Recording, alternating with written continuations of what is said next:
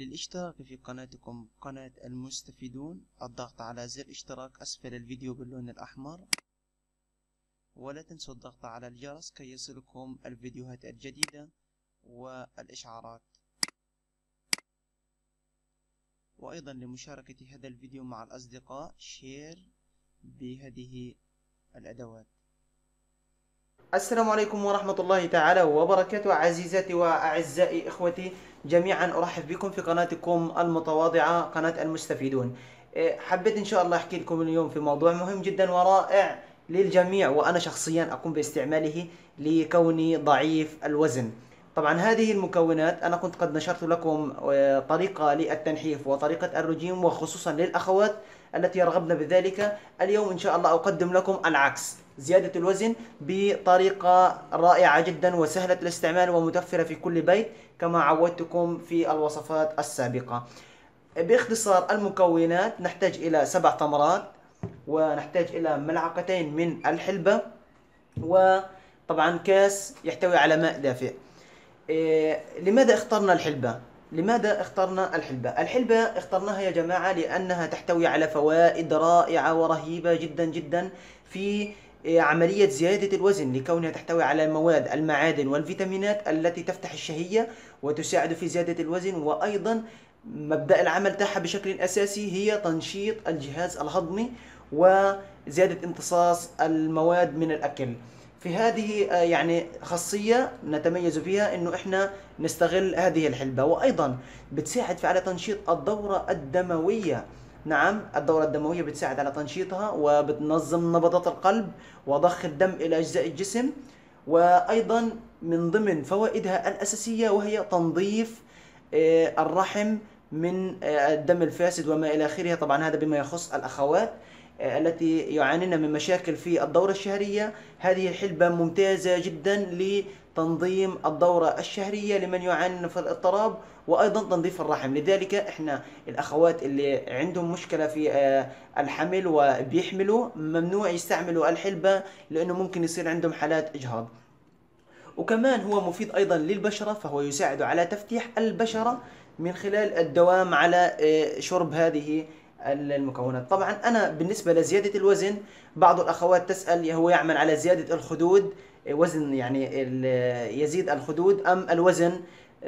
فأنا أجيب لكم هذه طبعا بما ينقص الجسم سيعمل على زيادة هذا بالفعل. يعني إذا الأخوات هم كانوا عندهم الخدود مثلا أقل فهو سيساعد على نفخ الخدود وزيادة الوزن. الآن نتطرق إلى فوائد الحلبة كما تشاهدون أنا كنت أعددت هذه النقاط لكم. آه، الفوائد الحلبة ذكرتها لكم. الآن بس لمن يحتاج زيادة الوزن؟ يعني هل هو أي شخص ممكن أنه نقول عن نفسه ضعيف أم لا؟ يوجد عندنا في الطب شيء يسمى ما بعرف إذا أنتم شايفينها في الكاميرا بودي ماس إندكس. هذا قياس كتلة مؤشر كتلة الوزن. هذا موجود عندنا في الطب. ولمن يعرف في هذا المجال هذا طبعا مؤشر من من من من خلاله بنقيس آه، كتلة الوزن على الجسم بنقول إنه مثلا هذا وزن وزن طبيعي ومثالي أم لا. طريقة سهلة جدا بتحسبوها بطريقتكم يعني مثلا نقوم بقسمة الوزن على الطول. يعني أنا مثلا شخصيا وزني آه، خمسة وخمسين طولي متر واحد وسبعين متر اثنين وسبعين. بنحط الوزن على الطول بيطلع لنا الرقم. الرقم إذا كان سجلوا هذا عندكم الرقم 18 ونص إلى 25 هذا الرينج الطبيعي يعني إذا أنت يا أختي أو الأخ الكريم إذا طلع الرقم عندك من 18 ونص إلى 25 هذولا بيبقى أنت في الطبيعي. يعني لا تحتاج إلى لا رجيم ولا أيضا تحتاج إلى مكونات زيادة الوزن. طيب الأخوات لو طلع عندهم أقل من ذلك. يعني طلع مثلا 17 الرقم أو 16 فتحتاج إلى هذه الوصفة لزيادة الوزن.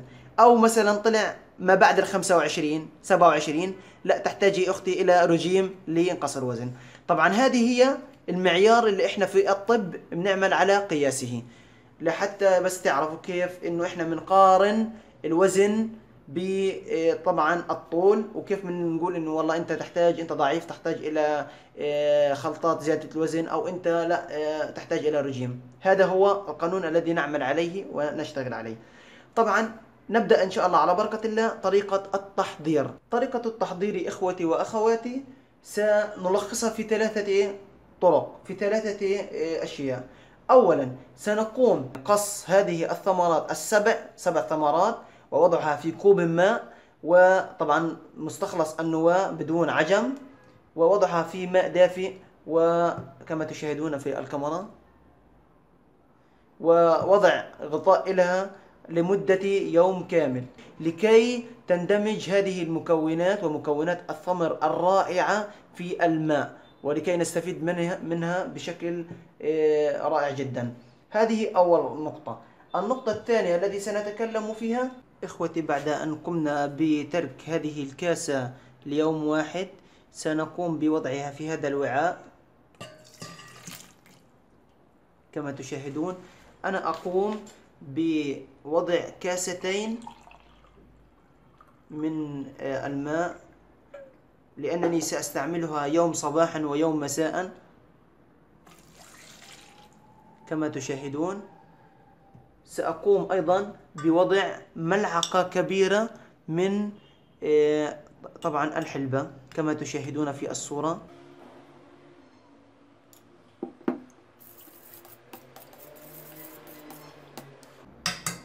أخواتي سأقوم بطبخ هذا المكون على الغاز لمدة خمس إلى عشر دقائق وأعود إليكم. كما تشاهدون حصلنا على هذا المزيج. سنقوم بوضعه في الخلاط ولكن بعد أن يبرد لكي نحصل على المشروب الخالص. إخوتي بعد ما أن حصلنا على هذا المشروب بعد أن قمنا بغليه وتصفيته حصلنا على هذه الكاسة كما تشاهدون. إيه، طبعا للأخوات التي يعني لا تستطيع شرب هذه الكاسة بهذا الطعم يمكنها استعمال العسل. معلقة واحدة تكفي من العسل. طبعا طريقة استعمال هذه الوصفة وهذا المشروب لزيادة الوزن إيه، نستعملها إيه، يوميا صباحا ومساء. صباحا بعد الاستيقاظ من النوم ونشرب هذه الكاسة وبعدها بنصف ساعة نفطر عادي. وأيضا في المساء قبل النوم نقوم بشرب كاسة واحدة. هي مفيدة جدا ورائعة وستنال إعجابكم. أتمنى في نهاية هذه الحلقة أن تكون قد آه، نالت إعجابكم واستفدتم من هذا الموضوع. ولا تنسوا بدعمنا بالضغط أسفل الفيديو على زر like وأيضا subscribe أي اشتراك و share لجميع الأصدقاء. وانتظروني إن شاء الله في حلقات قادمة من وصفات. السلام عليكم.